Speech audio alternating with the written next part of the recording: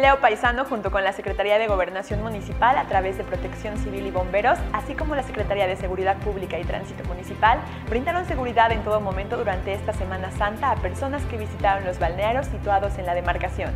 En esos lugares se presentó una afluencia de visitantes el día sábado y domingo, desde tempranas horas, por lo que se contó con un registro de aproximadamente 1.500 personas en el balneario Puerto Escondido, 1.000 personas en el balneario El Cristo y 600 personas en el balneario Camino Real, el cual se encuentra ubicado en Santa María Tonancintla, además de que en el balneario San Luis hubo aproximadamente 150 personas. Cabe mencionar que la Secretaría de Seguridad Pública y Tránsito Municipal de San Andrés Cholula, en coordinación con Protección Civil y Bomberos, resguardaron los cuatro balnearios que se ubican en San Andrés Cholula.